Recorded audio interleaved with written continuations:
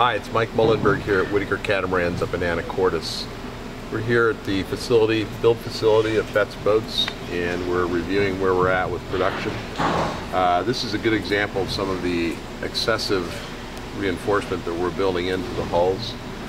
Um, the laminate schedules as spec'd are way above any of the scantlings that we need for offshore conditions.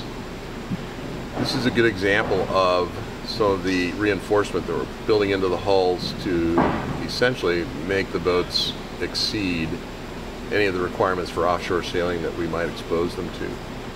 So this shows all the fore and aft longitudinal stringers are going to be laminated into the hull and there'll be secondary points for future cabinet installations